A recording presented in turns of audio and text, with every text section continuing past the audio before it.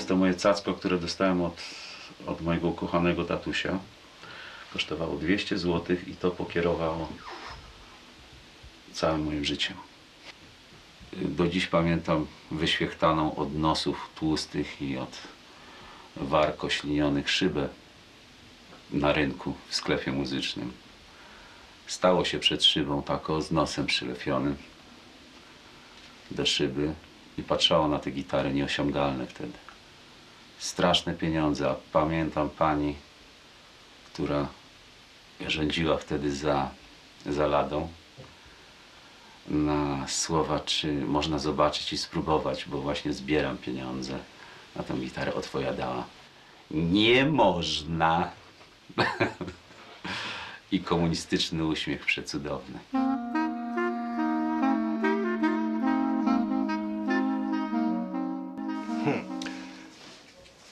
Wszystko się zaczęło, kiedy mm, miałem może 11-12 lat i kolega Piotrek Pasternak przy, przyszedł do mnie z defilem, który kupił w centrali handlowej przemysłu muzycznego przy ulicy Katedralnej bodajże, mieścił się ten sklep.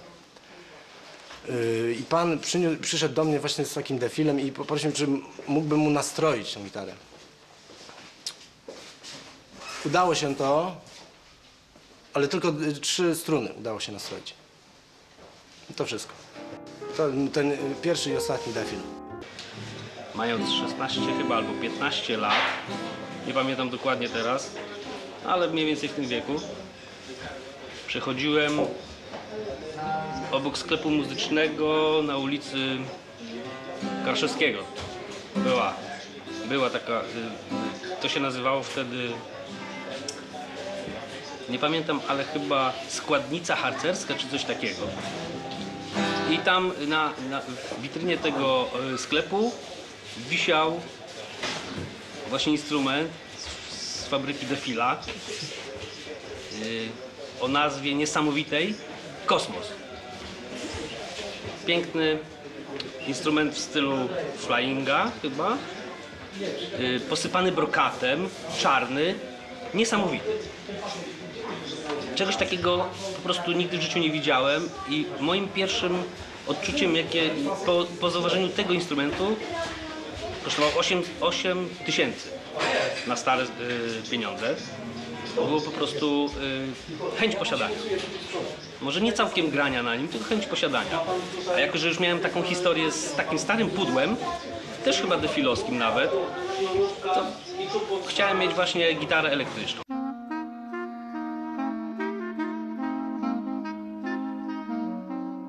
Były mandoliny słynne kiedyś. e, W każdej szkole podstawowej na szafach w klasie wychowania muzycznego leżało gdzieś tak około 20-30 takich mandolin w stanie wskazującym na zużycie e, totalne. Natomiast no, te instrumenty zostały zobrzydzone, myślę, przez e, ówczesny ustrój do tego stopnia, że nikt tych instrumentów nie dotykał. Mimo, że nie były to instrumenty najlepszej jakości, także wy, na pewno wychowało się na nich wiele pokoleń muzyków. Defil jako tako w Polsce był monopolistą. Nie było innych fabryk. I muzycy nie mieli wyboru, tak jak dzisiaj, iść do sklepu i kupić jakiś instrument. Problem podstawowy, jaki leżał e, u tej firmy, to było przede wszystkim mm, niemożliwość, niemożność rozdzielenia funkcji e, stolarzy od funkcji lutników.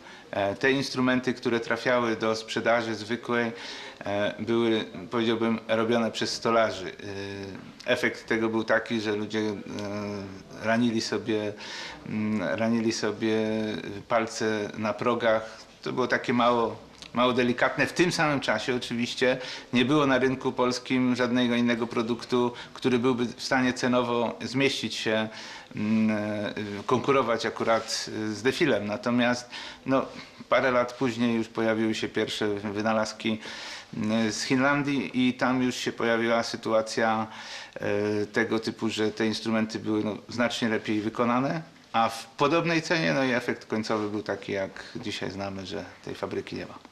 On był, zaistniał, jest. To, to jest najważniejsze, że jest, bo ja rzadko na nim gram. Powiem Ci szczerze, ostatnio grałem na nim jak byłem młody, to było jakieś trzy miesiące temu. Ale najważniejsze to jest to, że, że Polacy próbowali coś robić wtedy i, i mieliśmy znakomite materiały, znakomite drewno, świetne. Czegoś brakowało w wykończeniu tych gitar, tej finezji. Trzeba było przecież tylko wystarczyło ociosać ten gryf bardziej i pomyśleć nad dopasowaniem tego wszystkiego do kupy. Może akurat ci, co składali gitary, nie byli gitarzystami, nie byli muzykami. A może, będąc muzykami, nie myśleli i nie wiedzieli, do czego te gitary mają służyć. Że gitara to głównie rock and roll, blues, historia, miłość, nienawiść, a nie tylko komunistyczne piosenki odśpiewywane na dwóch czy trzech akordach.